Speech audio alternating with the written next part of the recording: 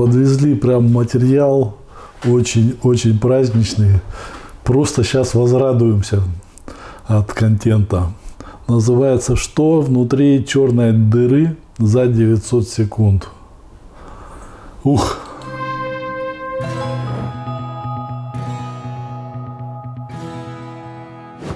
Вячеслав Докучаев, доктор физико-математических наук, ведущий научный сотрудник Института ядерных исследований РАН, специалист по ядерной физике, теории гравитации, космологии, физике космических лучей и черных дыр.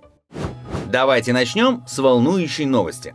12 мая 2022 года астрономы смогли увидеть черную дыру в самом сердце нашей галактики.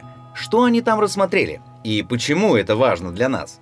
В центре нашего Млечного Пути, давайте сразу э, расскажу, находится э, сверхмассивная черная дыра. Оказывается, в ядрах всех галактик находятся черные дыры с массами не звездными, как масса Солнца, а с массами миллионы и миллиарды солнечных масс. Вот. Было вот подозрение, что для того, чтобы увидеть черную дыру, которую невозможно увидеть, да, надо натереть глаза наждачкой. Ребята увидели черную дыру, и сейчас они увидели во всех центрах галактики, что черная дыра нужна. Но вот по физическим обоснованиям, по физическим предпосылкам, в центре галактики черная дыра вообще не требуется. Ну так, если по-честному. У вас планетарная система может быть, ну, если, конечно, люди забыли, да, но движение происходит вокруг общего центра масс планетарная. То есть, если Земля движется вокруг Солнца, да, мы видим вокруг Солнца, но есть общая точка, центр масс, вокруг которой именно она движется. И если Земля будет увеличиваться по массе, а Солнце уменьшаться, да, то центр масс будет уже между Землей и Солнцем, и планетарная система будет обращаться как двойная звезда образно, да? И никакая дополнительная кнопочка в этом центре масс или посередине, или там дырочка, черная дыра, или белая ягодка, или розовый слоник уже не требуется. Солнце и Земля будут обращаться друг вокруг друга при равных массах без всякой черной дыры посередочке. Так вот, небольшие бродяжки такие, которые физику плохо учили, наверное, пока не стали докторами наук, забыли про это. Вот им надо обязательно, чтобы там в галактике, вот в этой дырочке, должна быть черная дырочка, которая вообще черная дырочка, которая еще пространство искривляет. Не просто массивный объект. Хрен бы с ним там, они бы его нашли, мы бы смирились. Но там надо, чтобы он был черная дыра в классическом понимании. Черная дыра с искривлением пространства-времени, в кавычках. И они наконец-то натерли глаза наждачкой и обнаружили там черные дыры и пошло пачками. Они теперь решили, что в центре каждой галактики теперь есть черная дыра. Как она туда зашла, да? Если она из произвольного Солнца, вот так вот по логике вещей, вот она может из произвольного Солнца образоваться, накапливая массу черная дыра, да? Как она, зараза, это у вас в центр галактики потом перебегает. Вот она на периферии из произвольного объекта образовалась. Или у вас туда все черные дыры сбегаются. Вас ничего не смущает вот в этой схеме волшебной. Итого. Научная база под этим, по всем, для тех, кто с нами не был, рассказываю – Гипотетический объект черная дыра до сих пор не обнаружен. Все галлюцинации современных ученых об обнаружении черной дыры имеют отношение только к фотошопам, к материалам, полученным непосредственно корябанием рукой по клавишам и фотошопа-генерированием изображений, попыткой притянуть это за, за уши к реальному объекту. Реальных объектов – таких как черные дыры, в центрах галактики, либо где-либо еще, ни в каких местах во Вселенной нет, потому что черная дыра в классическом понимании, не все об этом помнят, черная дыра в классическом понимании в природе невозможна, чисто технически, потому что у пространства нет такого свойства, которое можно бы было загнуть. Вот вместительность пространства невозможно загнуть, протяженность пространства невозможно загнуть, объемность пространства невозможно загнуть, потому что пространство – это не материальный объект. Он может в себя вмещать материю, но само пространство не является материальным объектом. Если вмещенной материи будет много или мало, это никак не повлияет на свойства самого пространства. Выделяемая зона, кривая она или прямая, или абсолютно ровненькая, она никак не влияет на свойства перемещаемого объекта. Даже если бы ваша фантазия была актуальной, и как-то оно что-то там гнулось внутри, это бы никто понять не мог, потому что это невозможно. Нет, никак не повлияет на свойства объекта. То есть это все равно эффект от, физический эффект от вашей выдумки равен нулю. Ничто не может повлиять на материю, ничто не может повлиять на объем пространства и так далее. То есть это вот ваш полностью некомпетентный такой, такая сказочка.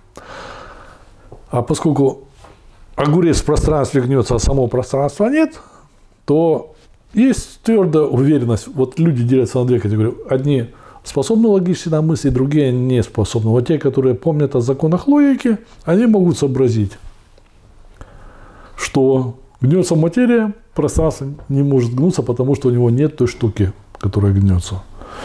И вы до сих пор не смогли на языке людей сказать, что именно погнулось у пространства. Да? То бормочете, то метрика погнулась там, то геодезическая. Это воображаемые объекты, они не являются частью пространства. Что погнулось именно у пространства, вы сознаться не можете.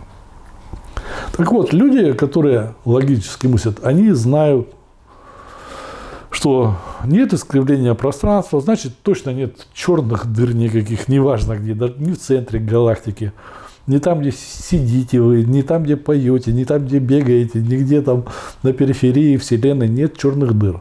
А раз нет черных дыр физически, это научно невозможно, а вы про них бормочете, значит, вы дурачки. Вы клоун, клоунское такое шоу, и мы за вами наблюдаем, Чисто как за клоунами. За вами наблюдаем. За астрономом Виби, за Сурдиным, за Поповым, за клоунами. И вот сейчас у нас новый клоун, которого как-то там зовут доктор физических наук, физико-математических наук, сотрудник РАН Вячеслав Докучаев. Очередной клоун, шарлатан, мошенник, который, в принципе, за свою болтологию, за обман широких масс населения должен сидеть в тюрьме. Возможно, это будет. Но пока мы будем за вами наблюдать за клоунами, которые бормочут нам и рассказывают сказки. Вот в нашей родной галактике черная дыра с массой э, 4 миллиона масс Солнца. И вот этот размер, откуда свет уже не выходит, он порядка орбиты Меркурия. И вот сейчас сумели астрономы вот эту область разглядеть как диск. И это черное пятно на небе черное пятно, Курия. И вот сейчас сумели астрономы вот эту область разглядеть как диск. И это черное пятно на небе, черное пятно. Я поведаю вам, это черное пятно на небе. Оттуда свет не может выйти. Это вот реальная долбанная секта релятивистов. А вокруг ореол из светящегося газа, который подсвечивает. Это примерно так, что человек стоит около стены, а там сзади наезжает ночью автомобиль. И на стене виден, видна тень. Это называется силуэт. Вот этот силуэт мы и видим. Она нас не съест? Черные дыры вообще опасны для нас? Да, опасны. Опасны, да. Потому что кто его знает, может, черная дыра в центре галактики когда-нибудь нас съест. Или сюда прилетит черная дыра. Вот обратите внимание, сюда прилетит черная дыра. Черная дыра в центре галактики когда-нибудь нас съест. Или сюда прилетит черная дыра. Не астероид, меланхолия какая-нибудь гигантская, а прилетит черная дыра и нас... Вот, вот в детском садике такой, да, вот в ванночке, пузырики кругом, человек находится, представление его о Вселенной. Как, с посредством каких сил может прилететь сюда черная дыра, вообще куда-то прилететь? Она не может летать, нет силового вектора для перемещения таких объектов. Они могут только расталкиваться во Вселенной, занимать силовым образом равновесную картину. Прилетит сюда черная дыра. На основании воображаемых фантастических сил розовый слоник ее толкнет космической ногой или хоботом. Так. Это вот вообще что за бред? Вот так, ведущий сотрудник а,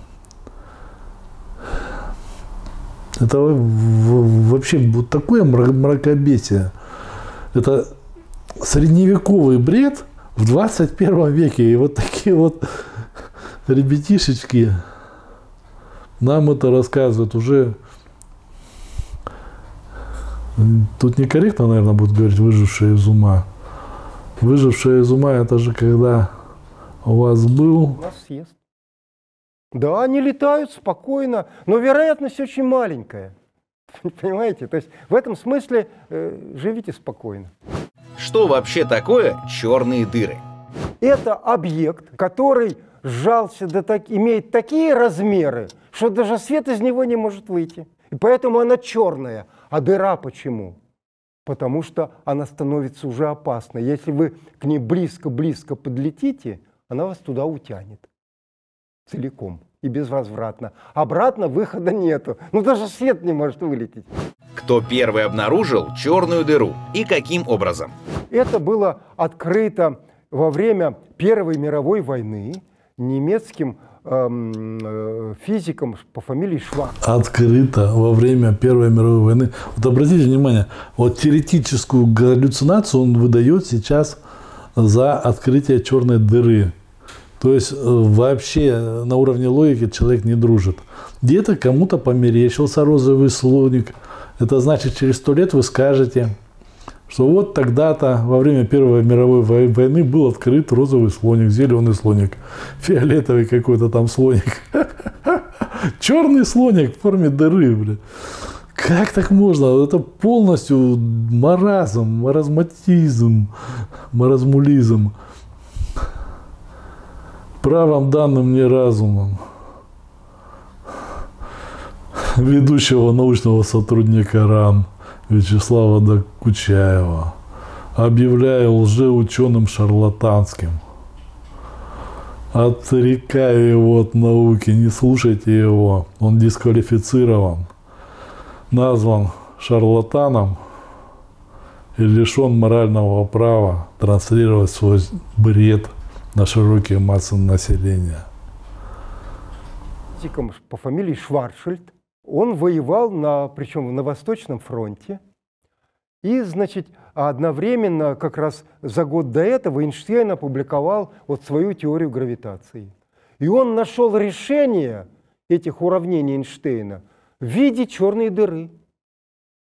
Что там образуется вот такая сингулярность, откуда свет не, не может выйти безграмотное решение, полученное на базе исходной аксиоматики Эйнштейна, построено на фальсификации предмета счета. Этот пример с картошкой, когда три картошки, один камень выдается за картошку.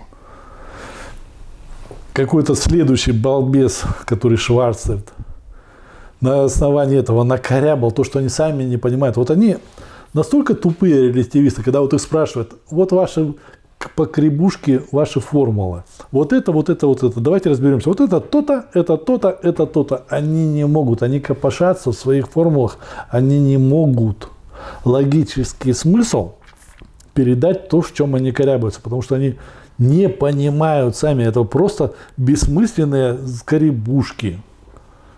Люди не понимают. Если они не могут вектора первичные расставить, геометрические мерности расставить, показать, что именно искривляется. Коэффициент искривления заложить не могут. Формулу воздействия через это не могут, через искривление получить. Они ничего не могут. Они могут просто вот эти вот наши корыбушки считайте научными формулами, у которых нет вот как дом без, без фундамента. И она прилетит, она нас всех съест, она черная дыра. Вот. А, и он это написал уже находясь в госпитале. Он там заболел тяжело и помер после этого. Но успел опубликовать. Значит, самое... Не, ну так-то разобраться формально, формально это больной человек предоставил вам какие-то расчеты. В которых вы ничего не понимаете. Вот представьте, вот наука докатилась, да, основания нет. А как можно считать кривизну пространства, если у тебя нет даже инструмента на уровне сопоставления величин? Если вот твоя теория множеств не позволяет проводить расчеты корректно, да, что ты можешь посчитать? Ты распределение материи в пространстве на бесконечности можешь посчитать? Нет. Если ты не можешь даже по прямой посчитать распределение в прямом пространстве, корректно, да? У тебя все сводится, у тебя и на луче бесконечное количество материи, на отрезке бесконечное количество материи, на прямое бесконечное количество материи. У тебя везде равномощное. Отрезок равномощен прямой. Все. То есть ты в научном смысле интеллектуальное ничтожество, да? Что ты можешь дальше посчитать? Ты распределение материи по пространству не можешь корректно посчитать. Формула физического воздействия где у тебя? 21 век. Из воздействия получается сила. Вот как ты силу получаешь? Никак, ты просто берешь, предшественники тебе написали без физического обоснования. Вот такая формула совпадает с результатами, мы ей пользуемся. С определенной точностью она попадает. Как мы ее получили, мы не знаем. Физика, ваше понимание, это набор разбросанных формул, идущих не откуда-то. Вы этого не понимаете. Когда вам даешь формула с выводом, нас учили по-другому. Уже сейчас по-другому учат, уже пространство искривляется. Забудьте там, что было до того, пространство искривляется. Черная дыра может прилететь. Вот ваша наука закончилась на этом. Вот были там какие-то связанные расчеты, которые да, можно было понимать. Мы перешли к не связанным расчетам и заклинаниям. Вселенная расширяется, пространство искривлено, черная дыра может прилететь. Был большой взрыв. Есть червоточины, кротовые норы, бобровые норы, белые дыры, черные дыры – это показания закоротившегося андроида какого-то, гуманоида, биоробота.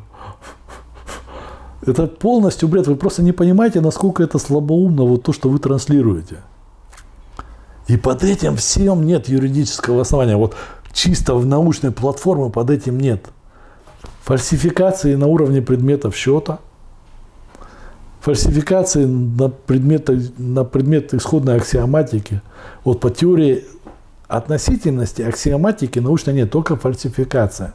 Человека, который не смог сосредоточиться. И дальше привлечена была группа болельщиков, которая не могла сосредоточиться и пропустила этот бред в науку. Причем сопротивлялись же сильно. Германия сопротивлялась против этого бреда на серьезной постоянной основе. Только после того, как Третий Рейх пал, или какое-то там у них событие произошло, когда вот Вторая мировая закончилась, тогда ваш этот релятивизм разошелся по всем вузам планеты, как официальная наука. Потому что вас нельзя было уже санными тряпками выгонять. Как? Это же немецкая, получается, идеология в науке, да? А тут не немецкая, тут более кучерявая идеология, что ли. Ее надо это запустить. А вопросы науки, они не национальны. Они либо объективны, либо не объективны. Либо это научно, либо не научно. А немцы, ребята, были, зараза, точными мальчишами. Он если два получается, он говорит два, он не может сказать, что два с половиной. Если три мерности пространства, он говорит три мерности пространства, он не согласен, что там две, три с половиной мерности, что там 12 мерностей, что время это тоже является мерностью. Он не согласен, он говорит про факты. А, а вы же это, сначала раздули, так, ну давайте вот три геометрических мерности и впихнем еще, как бы время, ну может поймут. Четыре мерности, да? Прошло там несколько лет, уже 5 мерностей, 6. Сейчас вы 12 мерностей. Ваши балбесы придумали 12 мерностей пространства. Это до какой степени надо быть невменяемым идиотом, чтобы количество от трех мерностей, есть, которые есть в реальном мире, раздуть до 12. Причем ни один из вас уже в четвертой мерности, в пятой не ориентируется. Вы путаетесь, как этот гиперкуб. Двумерное многообразие, вложенное в трехмерное, четырехмерное. Гладкое многообразие, не гладкое. Вы в этом все, вас накрыло как мухоморами, как препаратом. Вы в этом копошитесь, вы не можете сосредоточиться в этом. А лопочете про 12 мерностей. У вас наука заканчивается на трех мерности. Вот как после третьей мерности, три с половиной мерности, три мерности и один процент другой мерности, вот у вас уже там нет науки. Она закончилась. Там уже начинается маразм. Вот три мерности – это наука. А три с хвостиком, 4, 5, 6 – это глубокий маразм. Это слабоумие, слабоумие конченное. Вот это при... Нельзя, да, ругаться. Я не буду ругаться, извините, пожалуйста. Я в некоторых моментах, ну, правда, это, это люди, во-первых, я их не уважаю глубоко. Это люди, которые до скотского состояния довели современную молодежь.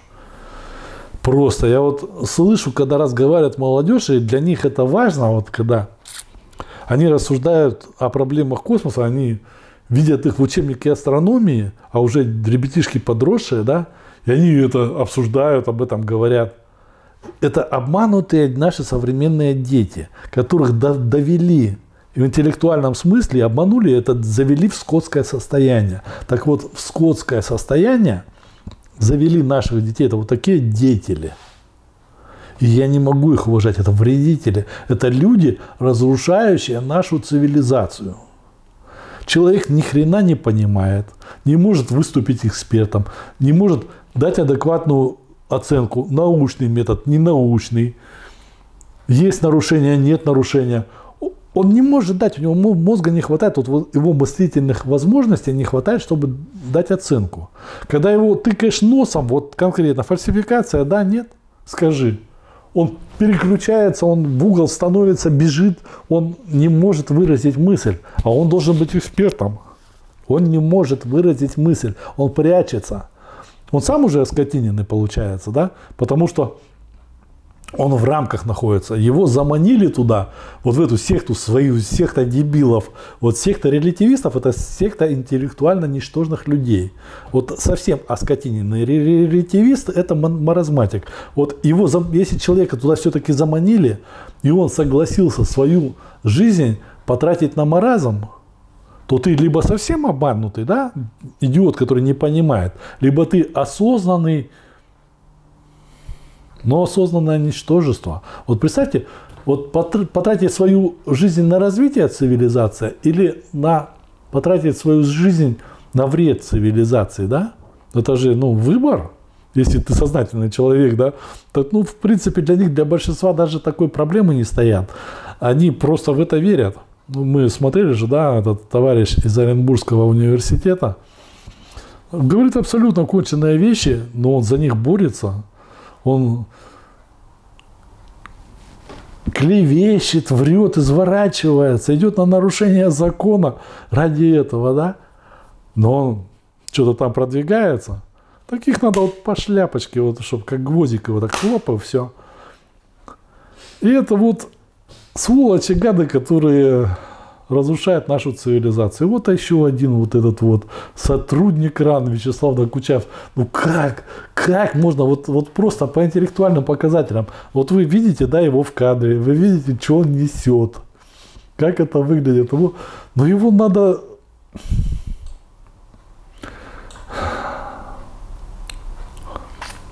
какой-нибудь комитет комендантов каких-нибудь подъездов, да, вахтерш каких-то отправить.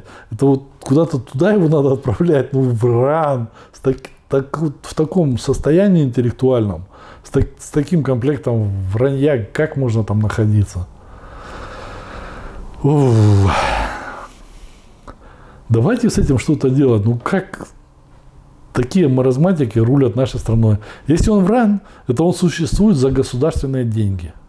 Он порождает таких же, как он – этот вот Буштрабер товарищ, да, академического плана товарищ, хвалится, что он там 30-40 человек последователей наплодил. Вот один такой вредитель наплодил 30 человек, даже по минимуму возьмем, таких же вредителей, да. Это вот честный труженик должен платить зарплату вот таким оленям, тащить их на своем горбу в счастливую жизнь, да, за что? Это разрушение государства. Вот когда вы обескравливаете важные ваши системы, да, это вот если вы псевдоученых, лжеученых напихали в Академию наук, значит вы ограничили возможность существования нормальных обычных ученых, адекватных. Финансирование к ним не попадет, но вот к этим жуликам попадет. И они как укушата растолкают все, они уже растолкали, они там одни – Направления физики, астрофизики, космологии, астрономии, физическая математика полностью бред. Это вот придуманы вот этими извращенцами. Многие разделы математики, это вот они захватили Российскую Академию Наук. То есть управление перехвачено. Ни один из их... У них нет результатов деятельности применимых ничто из их результатов деятельности не сводится к техническим устройствам, к развитию техники. Вот техника и наука в плане техники у нас развивается без них. Она развивается на предприятиях непосредственно, без всяких их теорий долбанутых. Они только наносят вред. Я приводил пример, когда человек с предприятия, с оборонки, обращался ко мне на предмет гравитации, дать ему разъяснение – и у него в голове была сетчатая структура пространства. Это то есть человек из оборонки, который должен был в теории создать гравитационное оружие, да, он искал в сетчатой структуре пространства выход, научное обоснование.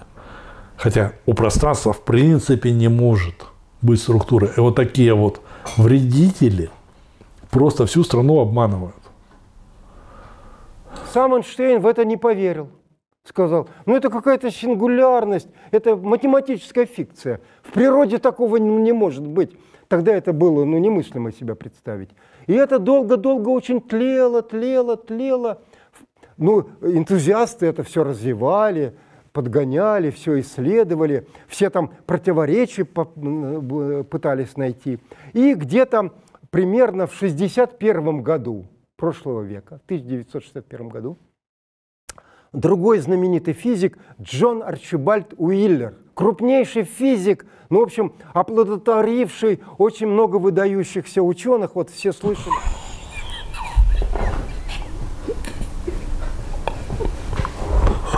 Крупнейший физик, оплодотворивший множество ученых – и он правда это говорит? Мне же не показалось. Арчибальд Уиллер, крупнейший физик, ну, в общем, оплодотворивший очень много выдающихся ученых. У меня в аквариуме самец цихлиды недавно там оплодотворил такую икру. Сейчас цихлидики будут плавать. На. А тут крупнейший физик наоплодотворял тут способных к размножению релятивистов. Господи, такие смешные балбесы. Для ученых вот все слышали фамилию Ричард Фейнман, Нобелевский лауреат, у него был ученик. Фейман это жулик, конченый жулик, он конченый релятивист, да, Нобелевский лауреат. Вот Нобелевский комитет уже давно выдает политические премии. Вот им сказано так делать, они делают так. В плане физики это полный застой, полный мрак. В плане политики тоже в одном русле. Вот как дают, ну вот Обама миротворец, да, не успел он еще прийти к власти, да, только и сразу же. Обама миротворец, на тебе Нобелевскую премию. Это, ну, говорит о том, что это инструмент влияния. Вот сейчас ссылаться на Нобелевскую премию уже должно быть стыдно. Журналистам уже не надо освещать, что кому-то дали Нобелевскую премию. Дали тебе Нобелевскую премию, все, ты агент влияния. Это вот такие результаты сейчас. Жарей Салферов – это агент влияния. Да. Гинзбург Виталий Лазаревич – агент влияния. Его научные труды – это бред конченый. Это лжеученые, которые влияли разрушали нашу научную систему. Гинзбург через его руки, да, вот его подогрели из-за рубежа. Из-за рубежа сделали. Вот представь, доведенная до скотского состояния в интеллектуальном плане страна, и британские агенты решают, кто будет сейчас влиять на российскую науку. А пусть будет влиять вот эта вот наша проверенная скотина. Мы ее сейчас осыпем лаврами, дадим ему Нобелевскую премию, на месте быдлота будет думать, что это самый умный тут чувачок такой, что он там гуру, мега-гуру.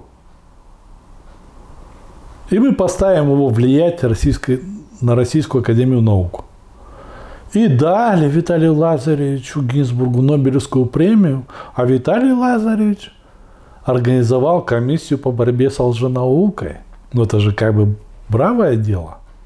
Только в результате получилась не комиссия по борьбе с лже-наукой, а притон для лжеученых, которые осуществили захват Академии наук, которые организовали травлю настоящих ученых в Российской Федерации.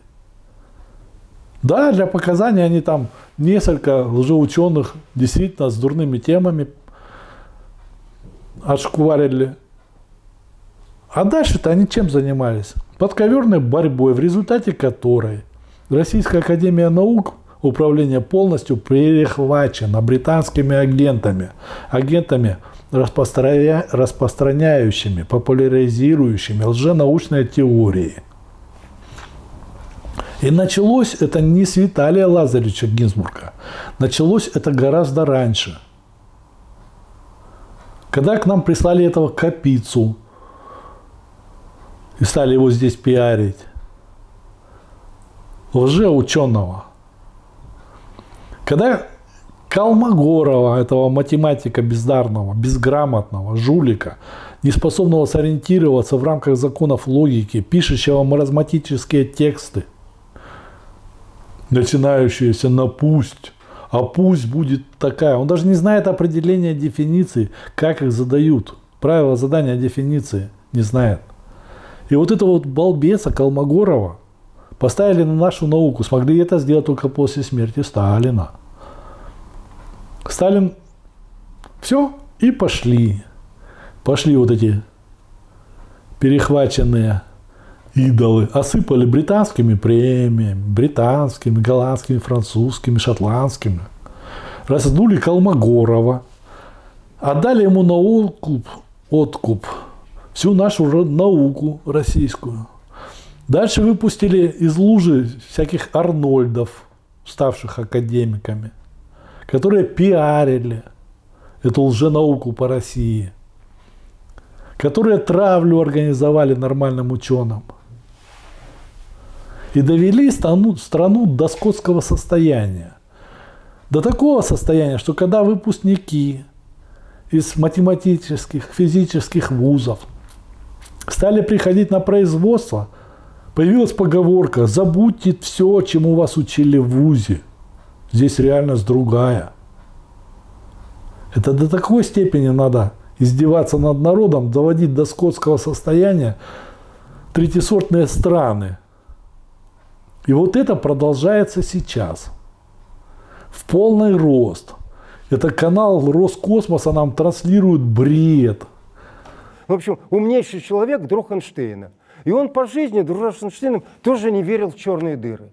А к этому году он оброс молодыми учениками, и они на мозги ему капали. Вот, количество дур увеличивается, и они на мозги. Он оброс, он не верил в черные дыры, и они на мозги ему капали. Вот это вот механизм захвата, когда дуры собираются в кучу и вытесняют разумно мыслящих.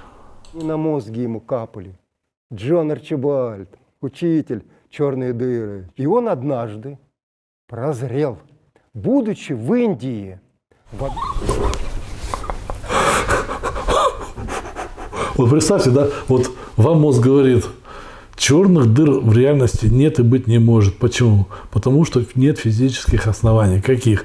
В пространстве не может ничего искривляться от самого пространства. Материя гнется, а пространство само погнуться не может. Нет такого физического свойства у пространства, которое может погнуться, значит черных дыр нет.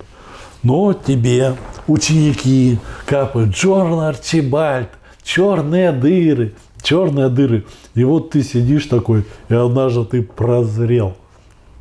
Это край интеллектуальный.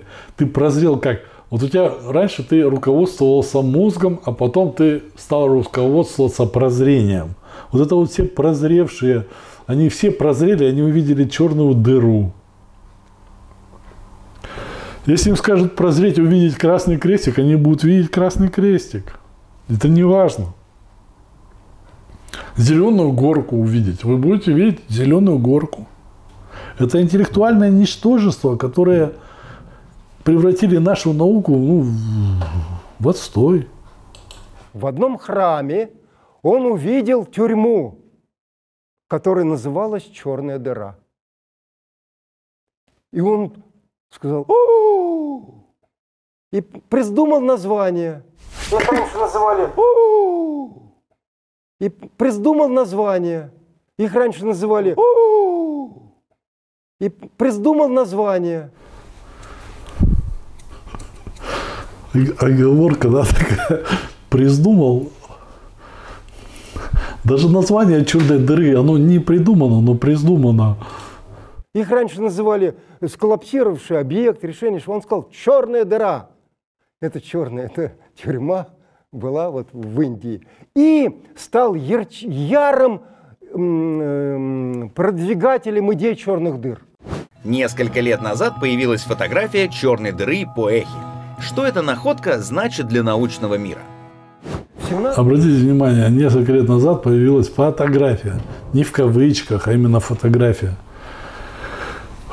Для тех, кто не с нами, для вновь пришедших все-таки ни одной фотографии черной дыры нет, все это фотошопы. Чисто технически невозможно фотографию сделать черной дыры, да, в рамках той концепции, если бы объект был, тоже было бы невозможно. А поскольку объекта де-факто нет и быть не может, получить фотографию того, чего на свете быть не может, чего в темноте быть не может, того, что в природе быть не может, невозможно получить фотографию того, чего физически нет и быть не может.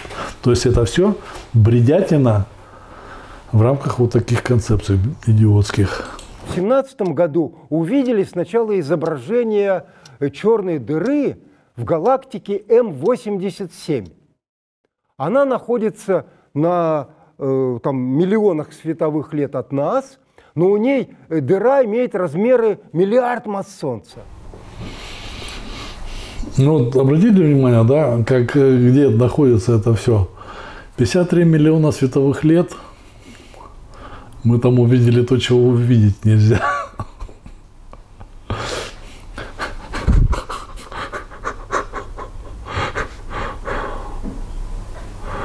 Да, правильно, на таком-то расстоянии кто же это проверит, о чем мы там увидели. Там даже можно глаза наждачкой не тереть, просто прям нормальными здоровыми зрачками увидеть, что там есть, что там нет. А, Михалыч, там 53 миллиона лет световых, ты видишь что-нибудь? Не, не вижу, там все черно, там дыра какая-то черная. Значит, там черная дыра. Маразматики. лет от нас, но у ней э, дыра имеет размеры миллиард масс Солнца. И угловой размер такой же, как у нашей галактики. А как, как вот можно увидеть массы Солнца? Того, чего не видно, да? Того, чего нет в природе. Блин. галактики. И на нее со страшной силой падает вещество. Несколько масс Солнца в год на нее падает. Она светит со страшной силой. И это свечение больше, чем ядерная энергия. Один из телескопов находился на Черная дыра светит со страшной силой. Объект, который не может выпускать свет, светит со страшной силой. Вот они, гра- грани маразма, любые им доступны, они достигают прям совершенства в этом.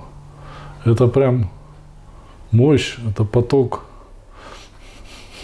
А их ученики, наверное, вместе взятые.